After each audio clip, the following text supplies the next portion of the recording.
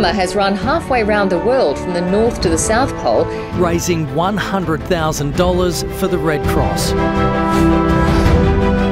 21,000 kilometres, two marathons a day, doing what no human being has ever done before.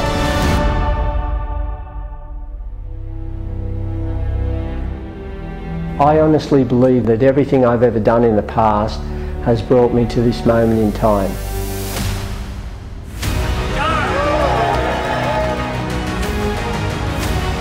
Pat Farmer is on a mission to campaign for the yes vote. I'm running 14,500 kilometres around Australia for The Voice. Six months straight. Now to 61 years old. Yeah, I'm very aware of the task I've taken on and how difficult it's going to be. This is testing every fibre in my body. Shed a few tears, been hit in the face with sleet and driving rain. But when you believe in something enough, Mother Nature's throwing everything she can at us. Nothing can stop you. It's been full on, it's going to be full on again tomorrow. Giving Indigenous Australians a voice is so important.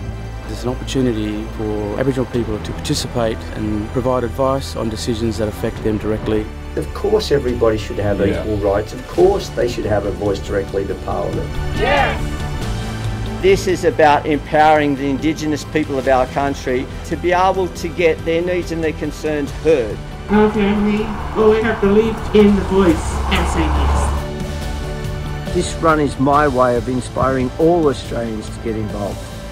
This is your decision. Get informed, get out there and vote yes.